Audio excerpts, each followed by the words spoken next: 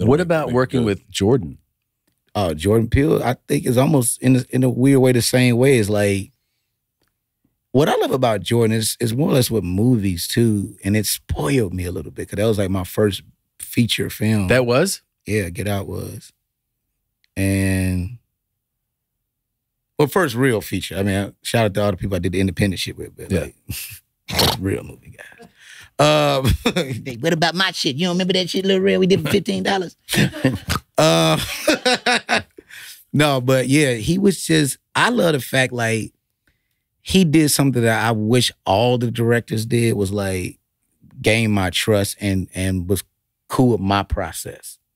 You know what I'm saying? Like he knew everybody's different processes and went with that. He didn't ask us all to do one thing to make it. He just came in everybody's world to get us to get the best out of us. yeah. And if and more or less for me, he'll like, all right, give me, you know, what I wrote, whatever, and then give me a Rel take. And because he was gonna give me a take to do whatever I wanted to, I'd do whatever the fuck you say. Yeah. Cause I know you're gonna let me have fun. And then, you watch the movie, I forgot that what I was saying. So most of the stuff, we was doing a panel one day and he was like, Yeah, mm, Rel, that's that's not, I know you give me props, but like I use most of your takes. Yeah. I'm like, wow, oh Wow. shit. That Did you have pretty- any sense when you're making that? Is it possible to have any sense that how how like impactful that movie was going to be I had a feeling about that shit after I booked it. after you booked it? Yeah, I never forget. I, I've told this story a couple times, but it's a real shit. Like I, I was doing my last um callback, and it was with Jordan, and it was for the original ending, which was the sadder version of the movie, What was the original ending?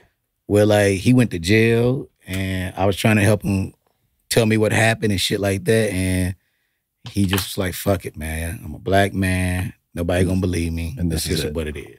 So it was just dark. Dark. Jesus.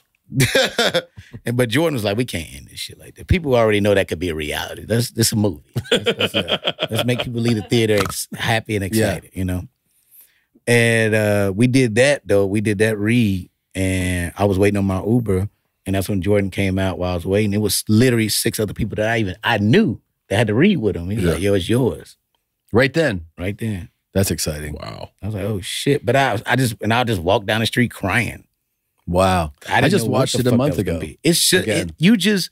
I think we all knew after the trailer though, when we because we did reshoots. I remember I remember seeing that trailer. People were so excited about. you know that what's shit. crazy about seeing the trailer? I saw the trailer uh, when I was in the theater when I was watching some other movie, and it was a mostly empty theater. Like it was like a daytime. What Mhm. I forget the movie I was watching, and the trailer plays, and there's like 15 people watching this trailer, and people were like, like hollering and like I've never seen people react in a trailer, especially 15, 20 people. I was like, this is nuts. Like, like the energy in the for a trailer to go like that was pretty crazy. I'm gonna always be. You know, I, it's weird because you have some actors that be trying to like. If, say they in something like that, they be like, I don't want to be associated with it. They're only known for this or whatever. Yeah. But man, I feel like it's like historic in a in Totally. a It's beautiful very way. I like. I still, I still get goosebumps when I watch people watch it. Yeah. like it was one of the craziest experiences of my career of my life just like the night and day of what happened Yeah. you know what i'm saying it was crazy because even like you know tiffany haddish my good friend like we had get out girls trip back to back and we was still doing carmichael show Really? so that year was just crazy to be on set and how supportive Jerrod and and we don't do that shit without Jerrod okaying it Right. oh yeah, 'cause he, he's got to let you you get gotta out. let me yeah oh wow, Wow.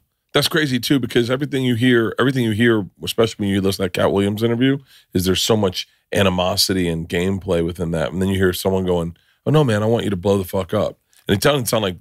I, I'd say the one thing I love, and this I don't know, this, this is going to sound horrible, but I just love the way a black director shoots black people. It looks different, and it and it just like I, See, I, keep- hate it, but keep going. Bert and Tom, Tom and Bert. One goes topless while the other wears a shirt. Tom tells stories and Bert's the machine. There's not a chance in hell that they'll keep it clean. Here's what we call two bears, one cave.